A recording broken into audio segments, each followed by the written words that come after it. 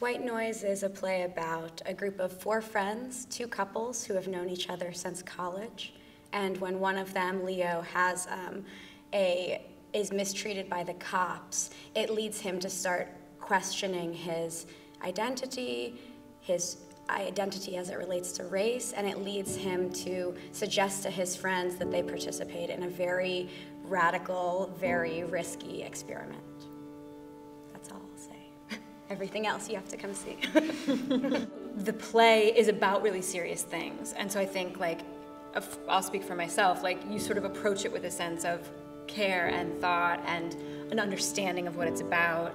And then at a certain point, the, the room becomes about like, that's not how we live. Like, even when really serious things are going on, we're looking to laugh, we're looking to kiss, we're looking to embrace and joke. And so I think the process has been in some ways like, acknowledging that the underneath that the underbelly of the play will always be there no matter what we do and that our job is to actually like deliver the comedy the love the warmth the humor like the genre, I think, is life. It's hugely thematic and it's dealing with race and identity and America and sort of foundational ideas of those things, but she packages it and places it in this way that makes it really accessible and lets you gravitate towards the light and the warmth and the joy and the friendship of these people so that you can actually really interrogate those questions.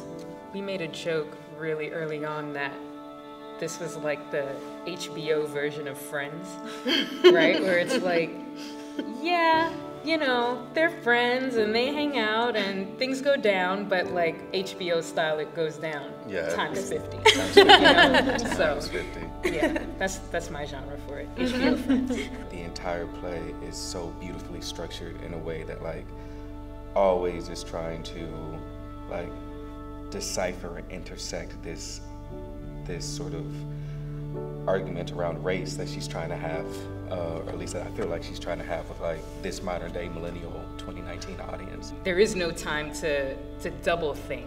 You kind of have to commit to getting on the roller coaster, strapping on, and just go, mm-hmm. you know, so. We're not gonna like sit in, you know, hushed tones like privately with only the, like we're gonna get into it. If we're gonna start to talk about it and talk about, like you say, like one of the original sins of this country, then we got to get into it, and that's what this play does. And hopefully, like you're leaving the theater, like I can imagine. I mean, that's what it drew me out too. You could just, I, I want to have a talk back after every show, mm-hmm. you know. And I hope that it stirs everybody because I mean, I just can't imagine not being stirred by this play. Like, walking out, like I, I, would just love to set up a microphone in the lobby and catch some of those conversations because that that's what it's all about. Mm-hmm.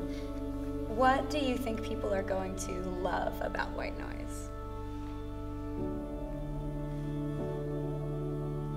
I think they're going to love how much fun we have. Like we we play a lot on stage and the scenes where all of us are together is a lot of fun. It's a lot of fun to mm-hmm. play and I think it's infectious. Like when you're sitting in the audience, I think you're going to want to be in the bowling alley with us. Mm-hmm. Yes. Even though you don't know what's coming later. But right. it's still fun. It's a lot of fun to, to like say, play we haven't mentioned bowling. We haven't mentioned we have, bowling. There's yeah. so much bowling in the show.